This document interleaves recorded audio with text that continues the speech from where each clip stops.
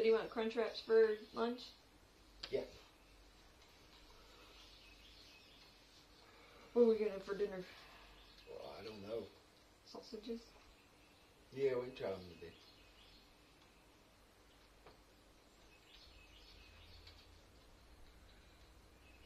Oh shit!